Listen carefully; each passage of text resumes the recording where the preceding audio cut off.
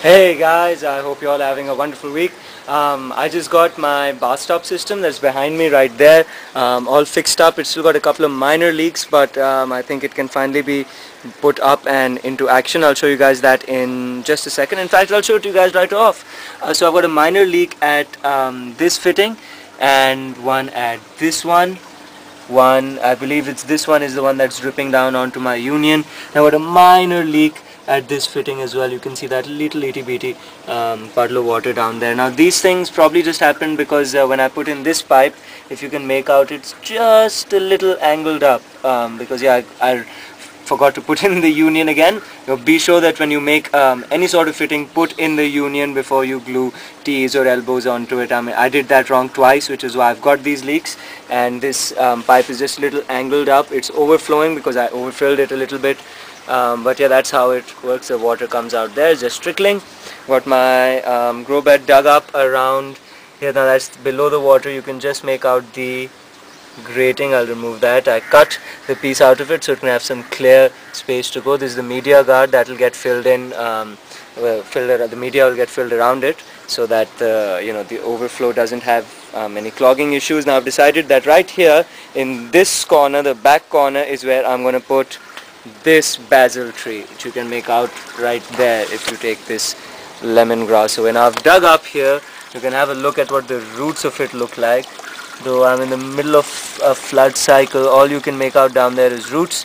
Uh, I'll show you guys that in just a bit. I'm going to pull that this plant out and have a look at uh, yeah I have a look at what comes out of it. Now found a camera angle here that would show you guys. It's not the best camera angle in the world okay here we go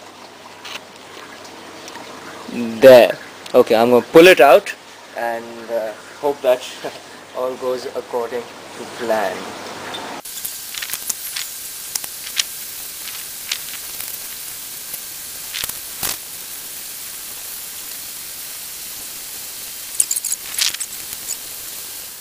Okay, so it's a real mess.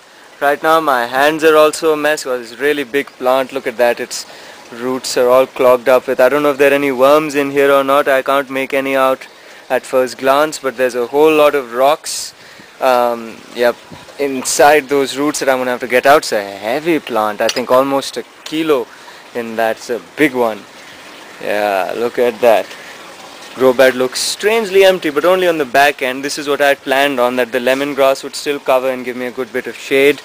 Here is the hole in the grow bed which is just about to start flushing. And you can make out uh, can you make out? Okay I'll just show you guys what the I hope there's no damage done to these plants. So now finally the system can actually be said to be alive and running.